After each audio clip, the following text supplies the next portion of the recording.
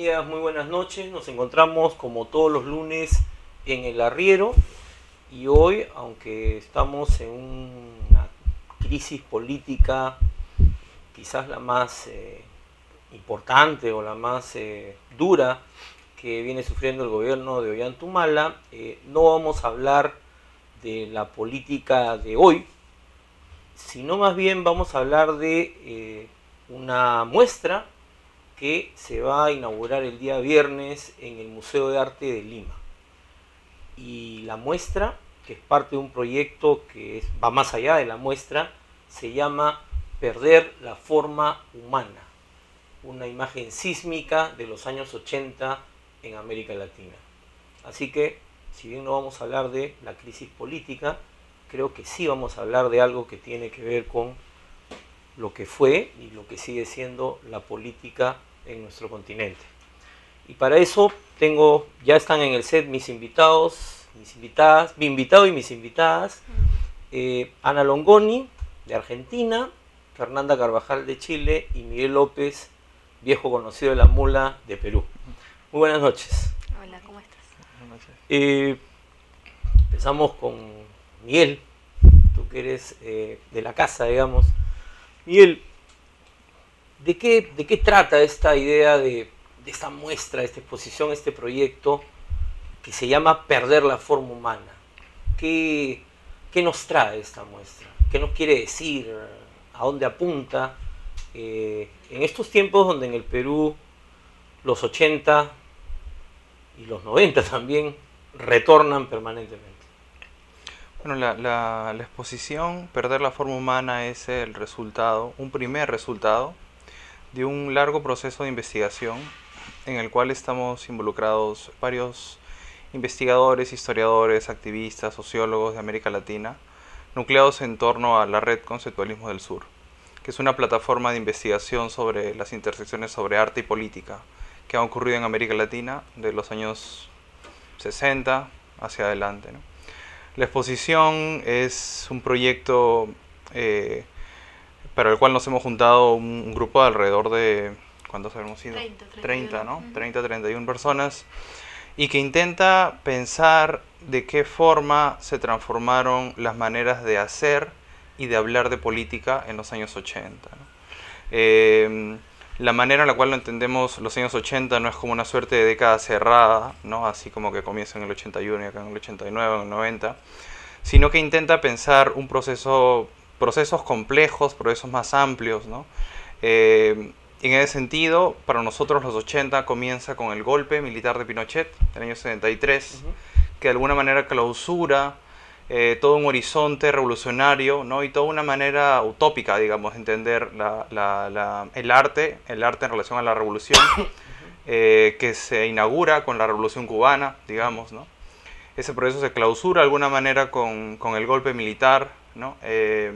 Y además también da inicio a otro proceso, ¿no? que es un proceso de, de persecución ¿no? Eh, que va casi, yo diría que se cristaliza muy claramente con la Operación Cóndor, ¿no? con ese operativo militar de aniquilamiento este, que naturalmente exige un replanteamiento de la estrategia de resistencia ¿no? y de enuncia, enunciación política en el espacio público. ¿no?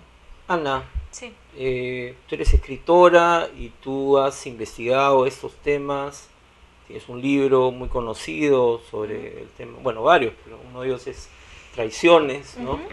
Eh, o sea, este, este, esto que plantea Miguel, ¿no? Estamos, eh, esta, exposición se, eh, se inicia, digamos, en este momento crucial en la historia de América Latina, que fue el golpe de, de Pinochet, ¿no? Y él plantea el tema de la Operación Cóndor este, este, este arte que surge o estas manifestaciones culturales que surgen como formas de resistencia eh, son, o sea, podemos hablar de un movimiento, de movimientos, ¿cómo, lo, cómo, lo, cómo, lo, cómo lo calificarías? Bien, creo que exploramos varias, varias vías, varios tipos de proceso. ¿no? Por un lado nos pusimos a indagar sobre lo que llamamos activismos artísticos, es decir, modos de hacer arte, de entender la práctica artística vinculada a los movimientos sociales, particularmente intensos en torno a los movimientos de derechos humanos, ¿no? sobre todo en Argentina, en Chile, en Uruguay. Eh, allí encontramos lo que llamamos estrategias creativas del movimiento de derechos humanos, que muchas veces olvidan su origen artístico, por más que las hayan sido iniciativas de artistas, porque son tomados por una multitud ¿no? que asume ese tipo de esos modos de hacer para dar visibilidad pública a los reclamos contra la represión o para dar visibilidad pública a los desaparecidos. ¿no? Eh, y allí encontramos estrategias muy diversas, desde el uso de fotografías, el uso de siluetas, de máscaras y otras formas de poner el cuerpo para, digamos, desde soportes muy precarios y, muy efímeros, instalar esta cuestión en el espacio público que estaba vedado. Ahora, el, perdón, el hecho de, que, de que se olvide de que eran artistas en un inicio, mm. ¿tiene que ver con, con, qué? con que en este contexto de dictadura y de represión los artistas no aparecían públicamente o, por qué es que pasa esto? Justamente porque me parece que se corren de las formas convencionales y los territorios más habituales de circulación del arte. O sea, la galería. Exacto, la galería, el museo, y, instalan otro tipo de lógica de circulación, donde la cuestión de la autoría, de la originalidad o del valor de la obra están totalmente borrados. Lo que importa ahí es idear un modo de hacer con otros, que le dé impacto visual, que le dé formas de comunicación alternativas, que formas de articular colectivos, ¿no? por eso Miguel hablaba más bien de formas de enunciación de la política diferentes, ¿no? las que se empiezan a gestar en esos años. Fernanda, tú eres eh, chilena, socióloga. Eh, yo estaba en Chile hace, hace poco, justamente en vísperas de los 40 años del golpe, y, y encontré un Chile distinto al que uno encontraba hace unos años, digamos, ¿no? Como una ebullición, como una recuperación de la calle, ¿no? Eh, es, esto, digamos, esta nueva generación conecta, o sea, hace, hace, ¿cómo decirlo? Se engarza con, con estas, estas eh, experiencias artísticas de las que estamos hablando o, son otra cosa?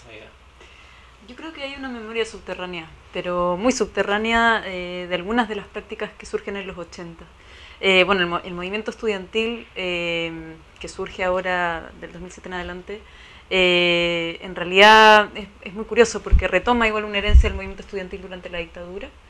Y, a nivel de, de, las prácticas simbólicas que se utilizan en la calle, si bien ellos son muy innovadores y hay toda también una apropiación de los, de los medios, qué sé yo, esto de hacer las grandes coreografías en las calles, qué sé yo, me parece que es algo generacional muy, muy marcado, pero a su vez hay cuestiones como por ejemplo una obra que, que fue de comienzo de los 80 de un grupo, de un colectivo eh, artístico chileno que se llama Colectivo de Acciones de Arte, el CADA, que, que fue el No Más, que está muy presente en la exposición. Eh, es un dispositivo que, que, se apropió, por ejemplo, en, en, en, todas las marchas estudiantiles, no más lucro, eh, en fin, o sea, fue como ese y ese dispositivo, digamos, que fue clave en la lucha antidictatorial. Fue clave en la lucha antidictatorial porque es una obra que piensa que eh, aparece en el año 83 y es resignificada a lo largo de la década de diferentes maneras por un movimiento que se llama Mujeres por la Vida y después en el momento del plebiscito, el año 88, como en Chile se vota con una cruz eh, y el, el plebiscito era sí o no, por lo tanto el no más, o sea, fue un dispositivo simbólico muy importante en, en ese momento. Y eso yo creo que, bueno, eh, no, es que, o sea, no es que los estudiantes del 2007 y el 2011 hayan conocido necesariamente esas prácticas, pero en alguna parte de la memoria quedan y, reverberan. ¿no? Mm. Y, me gustaría agregar otro, otro, otra cuestión, que es que la, exposición se dio por primera vez en, en la Reina Sofía de Madrid. Eh, para nosotros era muy importante que llegara a América Latina y, bueno, viene a Lima y después va a Buenos Aires y eso es clave para nosotros, pero hubo una cuestión inesperada y muy, muy potente y muy emocionante que fue cómo la muestra conectó en Madrid con todo el movimiento de los indignados, cómo empezaron a tomar recursos creativos de la exposición que estaban planteados, documentados ¿no? en la exposición para las prácticas callejeras que estaban aconteciendo en Madrid, en España en ese momento. No, la par incluso que se recupera el scratch, ¿no? como una forma de, denuncia pública y de señalamiento de todo lo que está ocurriendo. El scratch, las siluetas para denunciar a los, a los eh, afectados por la hipoteca. Mm. Entonces hubo una conexión muy directa entre el activismo español reciente y, la- y este proyecto de investigación que podía ser parecer de un momento distante y, Claro, de otra y de generación. América además. Latina y sin embargo hubo una conexión muy directa y muy muy fuerte. ¿Y ¿Cómo es que, que- Mm. que esto va, va transmitiéndose, digamos? Porque al- algunas de estas obras, eh, de estas performances, de estas, de estas manifestaciones, se dan una sola vez, pueden ser en una acción, pueden ser en una movilización. Pero ¿Cómo es que, o sea, ya no hay la idea del, del autor individual, no se pierde. ¿no? Pero ¿cómo es esa transmisión de lo que han investigado ustedes? No sé si era parte de, la, de Bueno, lo que se han preguntado ustedes. Una de las características de la exposición y de todo el proyecto de investigación es que hay algo de exhumación, es decir, de muchos de los, de los documentos, de los restos mm, materiales de lo que estamos mostrando es realmente la primera vez que se muestran, que se exhuman, ¿no? Y estaban quizás debajo de una cama o en una caja, no en una institución, no en un archivo consultable públicamente, sino lo habían conservado por su valor afectivo y político los mismos protagonistas de las prácticas, ¿no? No, no, no eran tiempos de internet, no, No. de nada. Eran Todo además son, ahí. son prácticas digamos que tienen una precariedad material muy grande, serigrafías hechas sobre papel de diario, fotocopias, fanzines juveniles, videos, ¿no? Son todos formatos este, muy muy precarios. Por eso hablamos de hacer política con nada, en el sentido de eh, con, con el propio cuerpo, con una materialidad realmente muy muy escasa. Y me parece que ahí, ahí también hay, hay algo, una apuesta fuerte de- del proyecto curatorial que tiene que ver con la indistinción entre obra y documento. No, hay, está tratados de la misma manera y esos restos que, que te digo, por ahí son una pobre fotocopia, están... Eh, Digamos, son las dos cosas. Sí, ¿no? Claro. Eh, tenemos Corte. que ir a, una, A un corte. un corte y volvemos en un instante con esta conversación sobre pensar la forma humana, una imagen sísmica de los años 80 en América Latina. Volvemos.